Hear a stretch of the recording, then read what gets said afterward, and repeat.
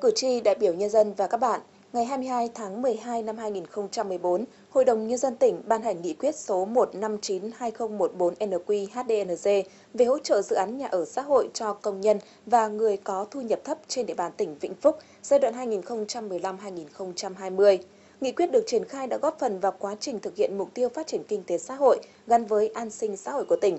Trong chuyên mục tiếng nói cử tri và đại biểu nhân dân kỳ này, chúng tôi có phóng sự Vĩnh Phúc với chương trình phát triển nhà ở xã hội cho công nhân và người thu nhập thấp. Tiếp đến, trong mục trả lời ý kiến kiến nghị của cử tri, chúng tôi nêu trả lời kiến nghị của cử tri huyện Yên Lạc về tình trạng khai thác cát sỏi ở xã Hồng Châu, ảnh hưởng đến diện tích đất nông nghiệp và gây ô nhiễm môi trường. Ngày 22 tháng 12 năm 2014, Hội đồng Nhân dân tỉnh ban hành nghị quyết số 159-2014 NQ-HDNG ngày 22 tháng 12 năm 2014 về hỗ trợ dự án nhà ở xã hội cho công nhân và người có thu nhập thấp trên địa bàn tỉnh Vĩnh Phúc giai đoạn 2015-2020.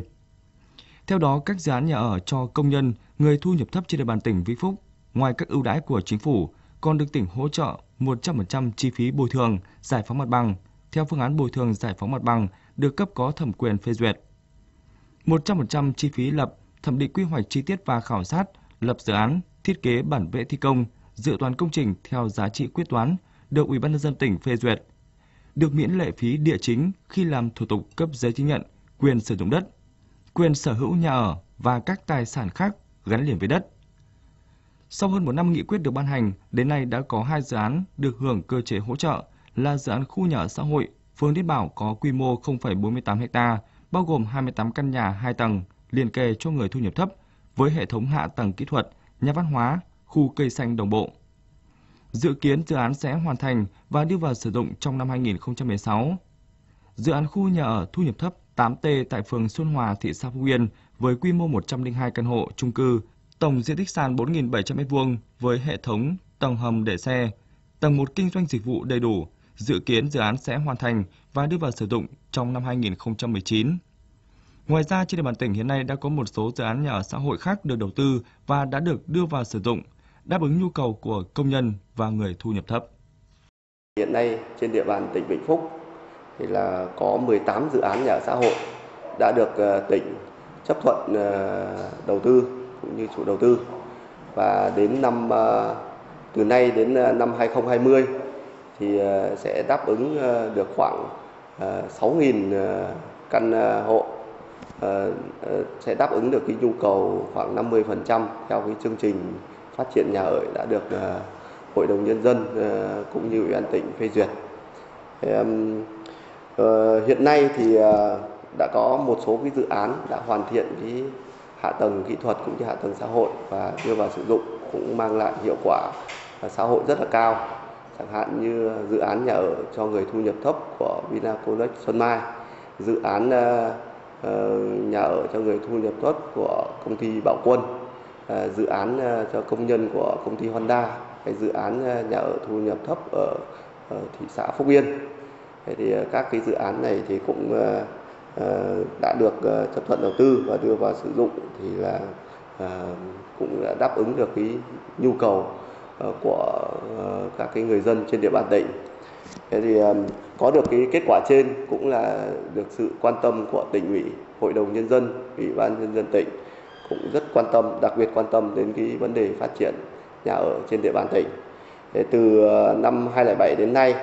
thì ngoài các cái ờ, cơ chế chính sách ờ, của trung ương thì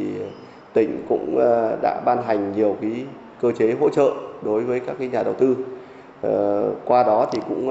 khuyến khích được các cái doanh nghiệp đầu tư xây dựng cũng như thế là giảm giá cái căn hộ và tạo điều kiện cho những cái người mà có thu nhập thấp để có cái được cái ờ, nhà để ở và ổn định đời sống. Cuối năm 2009, công ty cổ phần đầu tư xây dựng Bảo Quân đã triển khai dự án khu nhà ở công nhân và người thu nhập thấp tại khu công nghiệp Khai Quang, thành phố Vĩnh Yên. Tổng số gồm 3 khối nhà cao tầng với tổng mức đầu tư gần 180 tỷ đồng, hai khối nhà 6 tầng, tổng diện tích sàn 24.000 m2 với 210 căn hộ. Người lao động đến ở và sinh hoạt ổn định. Một khối nhà 15 tầng, diện tích sàn 18.000 m2 với 210 căn hộ, diện tích mỗi căn trên 70 m2. Với thuận lợi nằm ngay trong khu công nghiệp, có hệ thống đường giao thông thuận tiện, trường mầm non và nhà văn hóa công nhân, nên dự án đã thu hút lượng đông công nhân đến ở. Tuy nhiên, dự án khi hoàn thành đi vào sử dụng, bên cạnh những thuận lợi nhất định, các dự án nhà ở xã hội nói chung, trong đó có dự án nhà ở xã hội do công ty cổ phần đầu tư xây dựng Bảo Quân xây dựng vẫn tồn tại một số khó khăn. Sau khi xây xong thì cái việc mở bán tương đối chậm bởi vì cái sức mua nó cũng kém. Như tôi cũng đã vừa phân tích ở trên đấy, tức là cái người mà lao động thu nhập thấp thì nó cũng kinh phí nó có hạn nên cái việc đắn đo cân nhắc là người ta cũng phải suy nghĩ nên thời gian lâu với khu nhà bên này phải 2 năm mới bán hết và khu nhà này đã mở bán thì cũng tương đối lâu rồi nhưng mà đến nay mới được 60% thì chúng tôi cũng hy vọng là có cái sự giúp đỡ của các cấp trong cái việc là tuyên truyền vận động công nhân về đây để mở mang cái nếp sống công nghiệp thì ở chung cư thì bao giờ thuận tiện hơn. Đấy, bên cạnh đấy thì tôi cũng có xin một cái đề xuất rằng là sau khi mà cái khu chung cư đưa vào vận hành ấy, thì nó cũng có cái khó khăn là đặc biệt là cán bộ công nhân ở rồi ờ, một số công chức rồi một số cái người lao động có thu nhập thấp ở thì cũng chưa quen với nếp sống văn minh hiện đại ở chung cư nên cái việc bầu bán ban quản trị để tự quản thì cũng chưa nâng cao được ý thức trách nhiệm trong việc quản lý giữ gìn cái tài sản và đóng góp cho cộng đồng. Nhìn chung các dự án nhà ở xã hội được đầu tư đưa vào khai thác sử dụng trên địa bàn tỉnh đã phát huy vai trò hiệu quả tích cực. Thông qua triển khai thực hiện những dự án này, người dân đặc biệt là những người có thu nhập thấp và trung bình có điều kiện sở hữu nhà kiên cố với hạ tầng điện nước và các dịch vụ khác như nhà văn hóa, trường học được đầu tư đồng bộ. Các khu nhà xã hội và khu chung cư dành cho công nhân và người thu nhập thấp trên địa bàn tỉnh sau khi xây dựng đã góp phần đáp ứng nhu cầu về nhà ở cho nhân dân. Theo đánh giá của một số hộ dân thì các chi phí dịch vụ tương đối ổn định và phù hợp. Tuy nhiên, vấn đề thành lập và đi vào hoạt động của ban quản trị tại các khu nhà ở xã hội, khu chung cư dành cho người thu nhập thấp vẫn gặp khó khăn nên ảnh hưởng đến hoạt động chung của tòa nhà. Chung cư này thì tôi về được năm nay là gần 3 năm rồi nhưng mà dịch vụ ấy, điện ấy thì bây giờ nó cũng ờ, bình thường, thì đôi khi mất tí cũng không sao. Còn cái nước cũng vậy thôi, thế thỉnh thoảng nó cũng mất chút ít thì cũng uh, mọi anh em ở trong ban quản lý người ta cũng khắc phục mọi khó khăn để cho bà con chung cư là nhanh chóng có nước để mà dùng.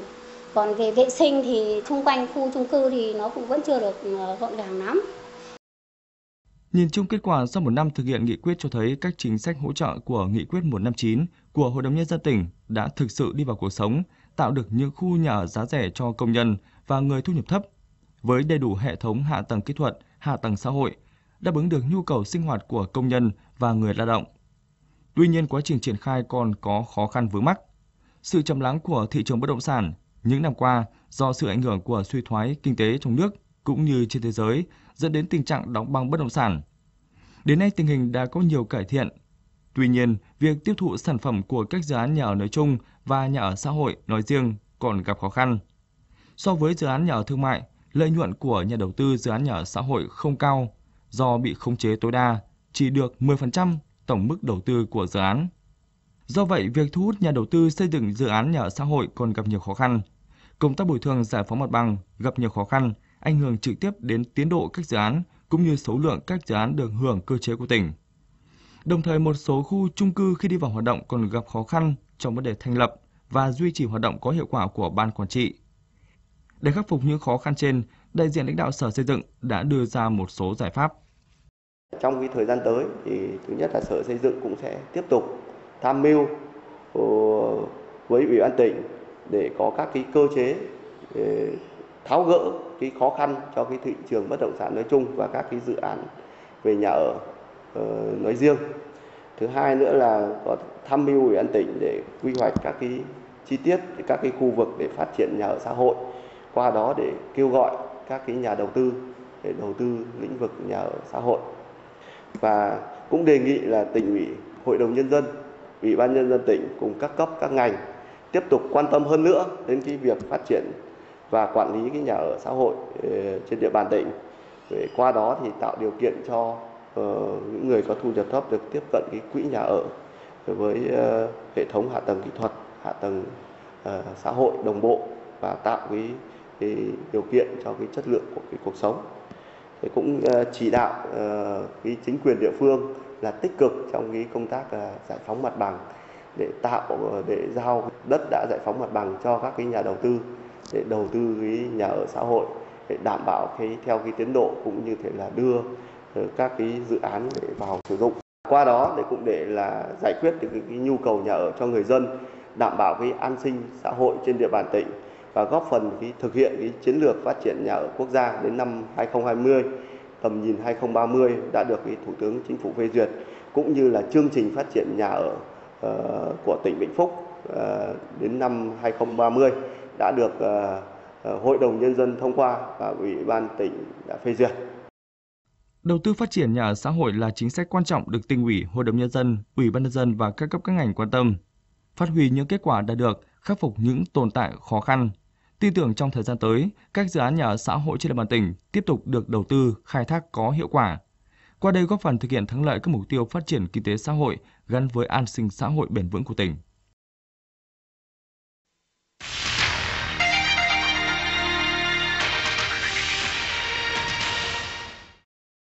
Thưa cử tri, đại biểu nhân dân và các bạn, Cử tri huyện Yên Lạc đề nghị tỉnh xem xét giải quyết tình trạng khai thác cát sỏi ở xã Hồng Châu của công ty cổ phần TMS khoáng sản và vật liệu xây dựng, ảnh hưởng đến diện tích đất nông nghiệp, hoa màu, cây trồng và gây ô nhiễm môi trường, tạo dư luận bất bình trong nhân dân. Nội dung này Sở Tài nguyên và Môi trường có văn bản trả lời như sau. Qua kiểm tra của đoàn kiểm tra liên ngành của tỉnh xác định Thời điểm cuối tháng 12 năm 2015, công ty đã tiến hành khai thác cát tại khu vực điểm mỏ xã Hồng Châu và tập kết cát lên khu đất thuê của các hộ dân. Do đó, Ủy ban nhân dân xã Hồng Châu đã tiến hành lập biên bản yêu cầu dừng việc tập kết cát ảnh hưởng đến đất canh tác của nhân dân. Do đó, công ty đã chấp hành dừng việc khai thác. Tại thời điểm kiểm tra, công ty đã chấp hành dừng hoạt động khai thác từ ngày 29 tháng 12 năm 2015 để phục vụ công tác kiểm tra của đoàn kiểm tra liên ngành của tỉnh. Tại buổi làm việc ngày 8 tháng 7 năm 2016, Ủy ban nhân dân xã Hồng Châu báo cáo trong thời gian đoàn kiểm tra liên ngành kiểm tra hoạt động khai thác cát trên tuyến sông Hồng theo quyết định số 3495 QĐ-CT ngày 9 tháng 12 năm 2015 của Chủ tịch Ủy ban nhân dân tỉnh Vĩnh Phúc, công ty đã chấp hành tốt yêu cầu của Ủy ban nhân dân tỉnh về việc dừng khai thác, đảm bảo an ninh trật tự trên địa bàn. Tuy nhiên, do công ty có kế hoạch khai thác và vận chuyển cát theo đường bộ và tập kết cát lên diện tích đất thuê của các hộ dân, do vậy có nguy cơ làm ảnh hưởng đến đất nông nghiệp và ảnh hưởng đến môi trường và đường giao thông. Do đó, cử tri và Ủy ban nhân dân xã Hồng Châu đề nghị cơ quan nhà nước cần tăng cường kiểm tra giám sát chặt chẽ hoạt động khai thác, vận chuyển cát của công ty TNMS, tránh gây bức xúc trong nhân dân. Về việc này, Sở Tài nguyên và Môi trường thống nhất với Ủy ban nhân dân xã Hồng Châu sẽ phối hợp kiểm tra và làm việc trực tiếp với công ty, yêu cầu công ty phải cam kết nghiêm túc chấp hành đầy đủ, đúng các quy định của pháp luật về đất đai, khoáng sản, môi trường, đê điều, giao thông và pháp luật khác có liên quan. Thực hiện tốt trách nhiệm theo quy định tại khoản 2 điều 5 và khoản 2 điều 55 Luật khoáng sản năm 2010. Thực hiện việc cam kết với Ủy ban nhân dân cấp xã có sự giám sát của Mặt trận Tổ quốc, các đoàn thể và cộng đồng dân cư nơi có hoạt động khai thác, kinh doanh vận chuyển. Trong đó lưu ý cam kết việc kết hợp khai thác với xây dựng hạ tầng, kỹ thuật, bảo vệ, phục hồi môi trường theo dự án đầu tư khai thác khoáng sản. Nếu gây thiệt hại đến hạ tầng kỹ thuật, công trình, tài sản khác thì tùy theo mức độ thiệt hại phải có trách nhiệm sửa chữa, duy tu, xây dựng mới hoặc bồi thường theo quy định tại khoản 2 điều 5 Luật khoáng sản. Trên đây là trả lời ý kiến kiến nghị của cử tri. Chuyên mục tiếng nói cử tri và đại biểu nhân dân kỳ này của chúng tôi đến đây xin được tạm dừng. Cảm ơn sự quan tâm theo dõi của cử tri, đại biểu nhân dân và các bạn.